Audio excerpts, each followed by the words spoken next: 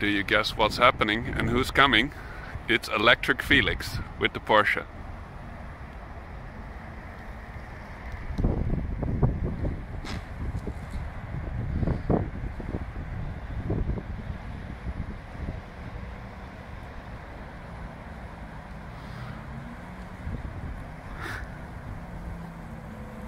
Look at his big smile.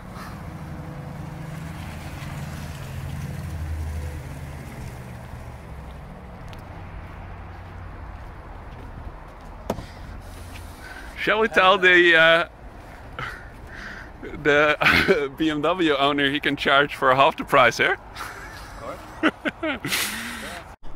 Hello and welcome to the Eemnes Supercharger next to restaurant De Witte Bergen. This, as you can see, is a very fresh V3 situation. It's also easy to see that future expansion is so, so simple.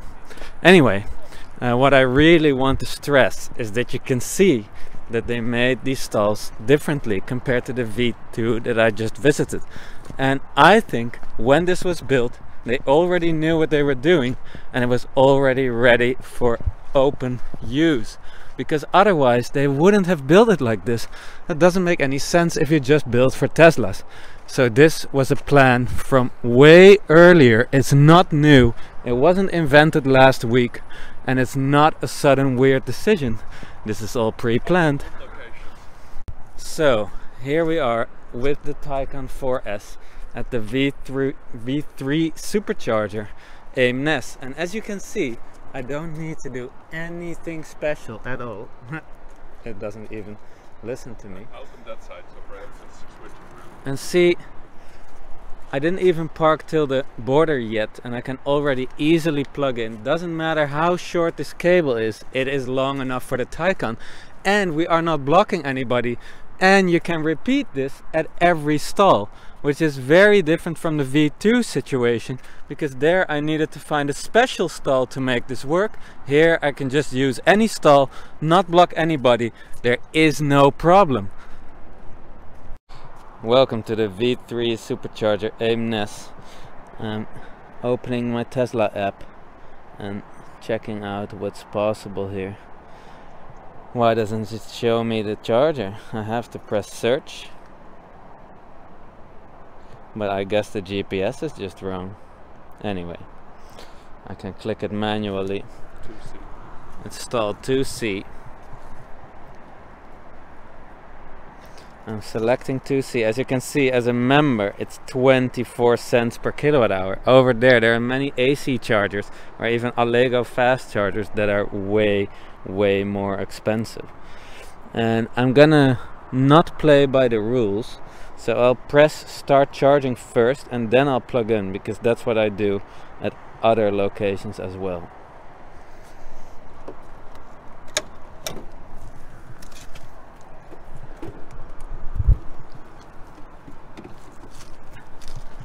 So plugging in is too easy, even with the short cable, the reach is so simple. It tells us to wait for a maximum of two minutes but I think it'll go way faster.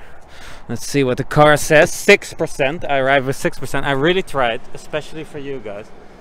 It's still on. The heating is on. Seat heating is on. Everything is on. It's warming up. Took about 30 seconds, I think. It is warming up. You can hear a sound coming from the supercharger. This is a cooled situation because it's a V3.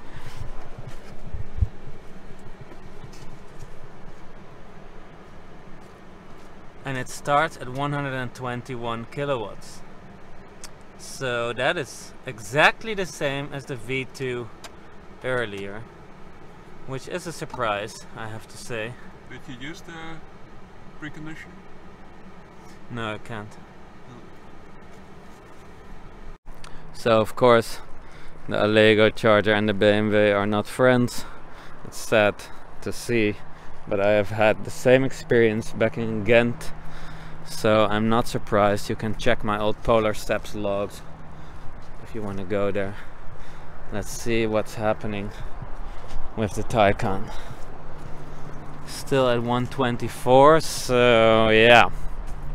That is interesting because that's the exact same charging speed as at the V2. I would have expected more, but I guess this could be the 800 volt situation. Even though I would expect it to ramp up at least higher than this, but that's a personal thing. So many Teslas just arrived and everybody has a spot for themselves. Even though the Taycan is also taking a spot, that's just what it's doing. It's just taking a spot. No worries here. So even though it is ramping up to 128 kilowatts now, it will obviously not explode suddenly. So this is interesting. The Model 3 is changing stalls. So does that mean that this one is broken? I don't know. I don't know. But something happened. They had to switch. Meanwhile, it's stuck on 128 kilowatts. So the quiet is back into the car. Turned everything off. No more need to drain the battery. 129 kilowatts. Nander just told me I have to change my line because normally I say see you at a fast charger soon, which has to change to see a supercharger soon. Well, we'll have to see if more superchargers open up, but I will be back. Although I probably won't bring the Ioniq 5 or the Taycan to a supercharger anytime soon because I want my 800 volts.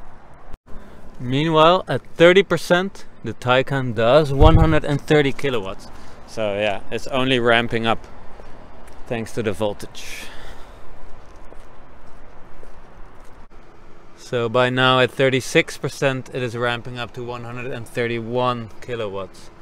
Clearly slower than Model 3s over there probably, but uh, yeah, we don't know. Ah, and the BMW is now charging at Allego. And another Model 3 arrives who can just jump into any stall because they're all free. Because the Taycan cannot block a stall here. No issue.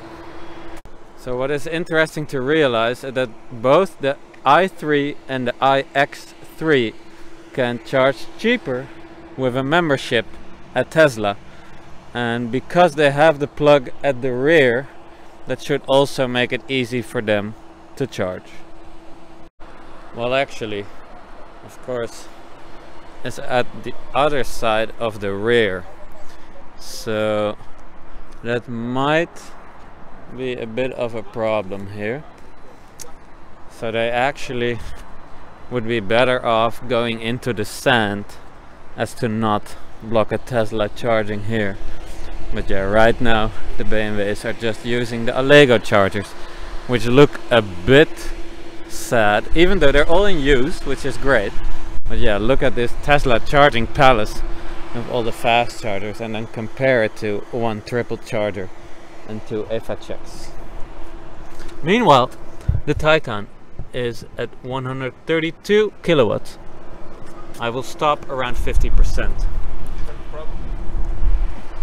Huh, so that is interesting because this is a different stall than where the other Model 3 had issues and now there are issues over there as well. Meanwhile, 133 kilowatts at 46%.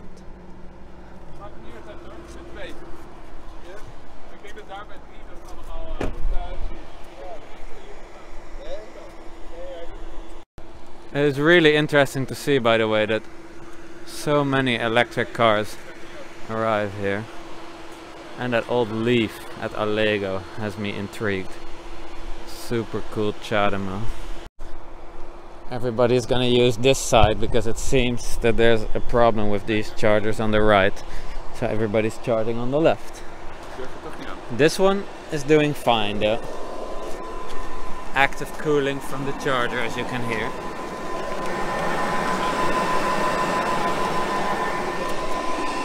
cooling seems to be mainly going on down no cooling for the Taycan because this is nothing for a Taycan of course it's only half the charging speed it can do 134 kilowatts at 50%.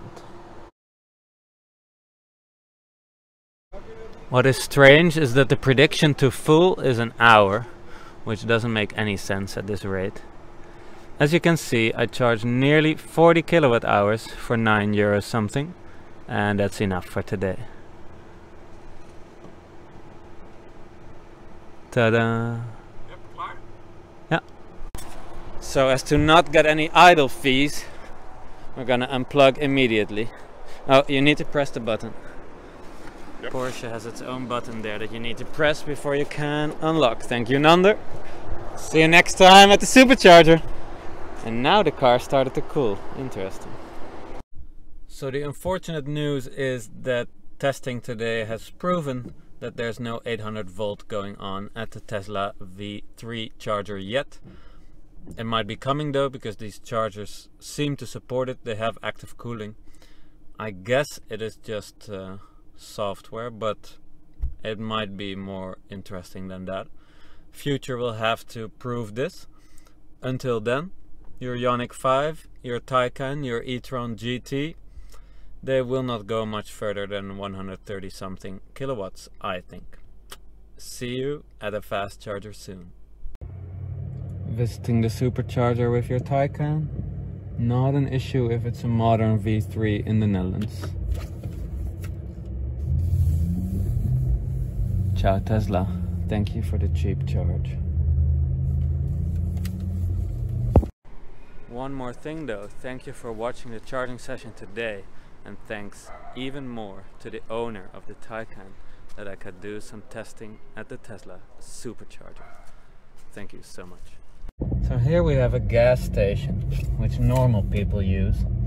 Normal people unfortunately don't understand how cheap driving electric can be.